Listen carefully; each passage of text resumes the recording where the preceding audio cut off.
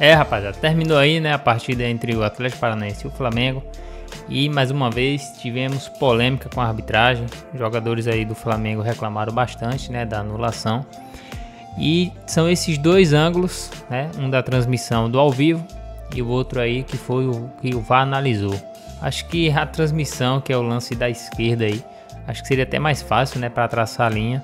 Aparentemente, nesse da esquerda está impedido, e no da direita a posição aparentemente é legal, né? Então vamos ver aí o gol, né? Anulado e depois o gol válido aí que o Gabigol fez no finalzinho ali e deu aquela provocada, né?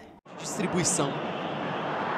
E o convite ao prazer pro Gabigol, pro Gabigol. É...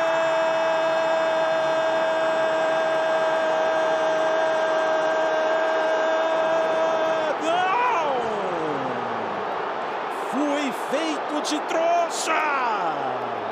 Impedimento marcado do Gabigol.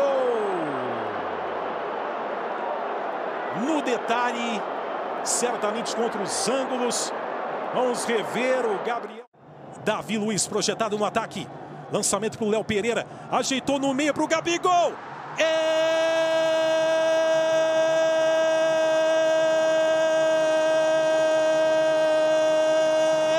Mengão! Ele sabe viver. Gabigol é fatal! Impiedoso, impiedoso!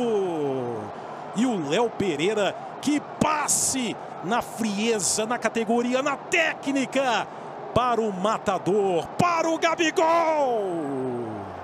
O Bento inconsolável a vaga é do Mengão, Rafael Oliveira. Mais uma vez o Gabigol aparecendo, né? Dessa vez para decretar de vez a vaga para o Flamengo. Já estava encaminhada. Ver de novo a jogada desde a origem. No primeiro momento tudo normal. Aí também, né? aqui embaixo dava condição, jogador do Atlético. Vai ser checado de qualquer forma. Mas gol legal muito boa ajeitada realmente do Léo Pereira encontrando o Gabigol. É claro que nessa altura do jogo não dá nem para cobrar muita organização. O Flamengo ainda bateu curto a falta, o Atlético já não tem mais o seu zagueiro central e ficou o buraco. O Gabigol aproveitou, teve um outro.